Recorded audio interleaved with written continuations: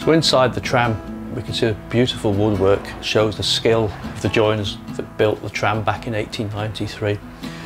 Back at that time there was no real sort of proper standard design for a tram and there's lots of clues in here of how they adapted uh, designs of horse trams into an electric tram car. So really the wooden body on this tram is what an extended version of what you would see in a typical horse tram.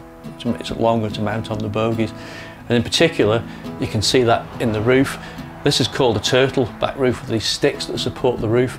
This is a clerestory where we can open the little windows there and let in on a nice hot sunny day like today you can let in the fresh air or maybe for people who smoked inside let cigarette and pipe smoke out and the flat piece on top now traditionally on a double decker horse tram that's where on the outside you'd have that knife board seat on the outside and the other sort of clues for um, horse tram sort of design and evolution is that the bodywork is very strong but very sort of simple in the way of uh, the cross section of the timber it's, it's very very sort of small.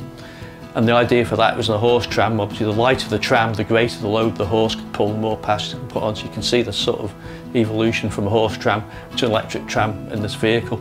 So the passengers sit on these wooden seats down the side of each tram it's called longitudinal seating where you sit with your back to the windows and, and face each other um, claimed to be very, very comfortable at the time they were built.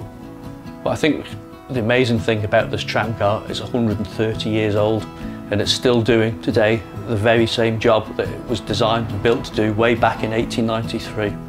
So what a tribute to its builders and the people, the team at Derby Castle Yard here that maintain the trams today, that you can still ride on this amazing 130 year old Victorian tram car. It's an incredible achievement.